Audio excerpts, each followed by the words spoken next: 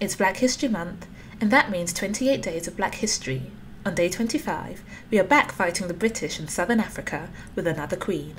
Labotsibeni Mdluli, nicknamed Gwamile for her strong determination, was Queen Mother and then Regent of Swaziland.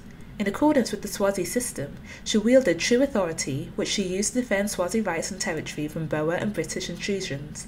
She ensured through the education system she established that girls and boys could learn the language of the colonizers. For most of the three-year crisis of the South African War, Labotsibeni was the last independent ruler in Africa south of the Zambezi.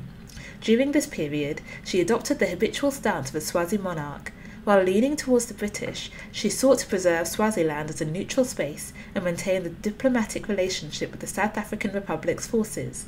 And that's day 25 of Black History Month.